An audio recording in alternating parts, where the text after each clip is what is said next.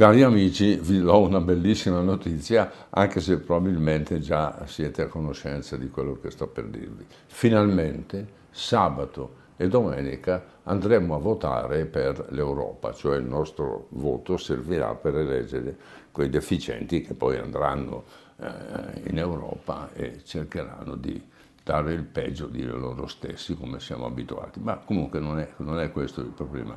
Il problema è che c'è stata una campagna elettorale che è durata uh, più di un mese, forse due mesi. Durante, eh, durante questo periodo ci hanno bombardato di fesserie. Voi avrete sentito, ma sia la sinistra che la destra, che litigano, sembrano dei galli nel pollaio che si beccano ma non dicono mai niente che possa interessare a noi poveri tapini che poi andiamo a votare.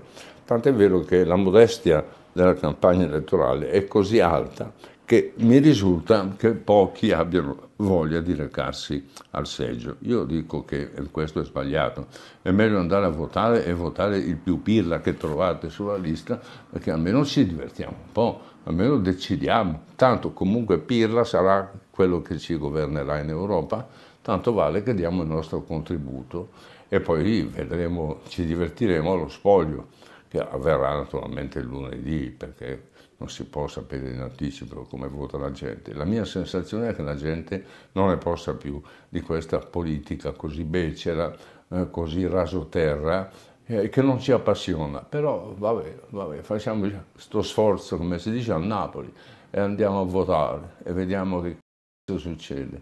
Vedrete che ci divertiremo anche un po'. Nelle disgrazie a volte si trova il modo anche per ridere.